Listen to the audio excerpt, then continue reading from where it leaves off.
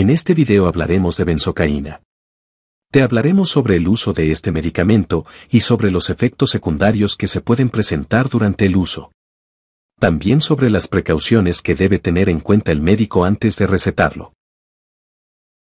La benzocaína es un fármaco anestésico local. Es un éster etílico. Veamos para qué sirve. La benzocaína se indica como anestesia local antes de un examen. En exploraciones de esófago, de laringe y de forma previa a endoscopia o manipulación con instrumentos. Se usa para el alivio del dolor asociado con úlcera aftosa o bucal.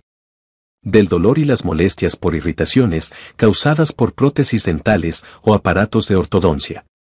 Dolor dental debido a la dentición.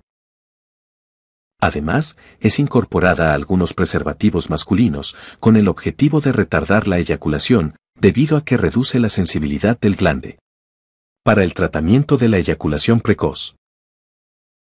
Este fármaco actúa bloqueando la conducción de los impulsos nerviosos, al disminuir la permeabilidad de la membrana neuronal a los iones de sodio.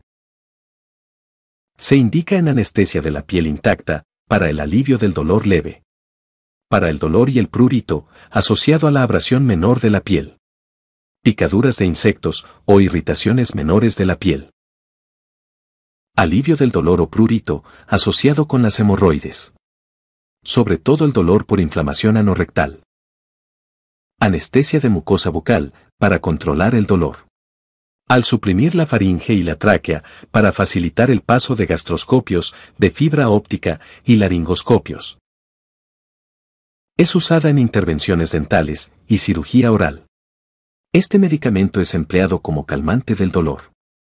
Alivio local del dolor dental y de la mucosa oral. Se usa para anestesiar localmente las heridas bucales, como fuegos y aftas. Antes de usar este medicamento se debe tener precaución. No se debe comer o beber, o masticar chicle, mientras persista el entumecimiento debido al riesgo de morderse la lengua o la mucosa bucal y de atragantarse. Se debe evitar el contacto con los ojos. No ingerir, no inhalar.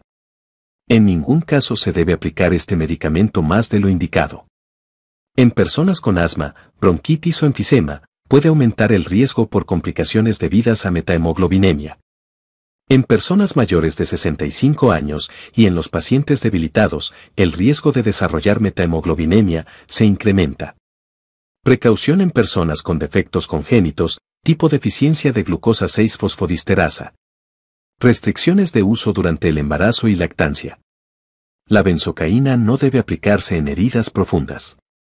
O punzantes, o a quemaduras graves. No aplicarse en áreas en las que exista infección.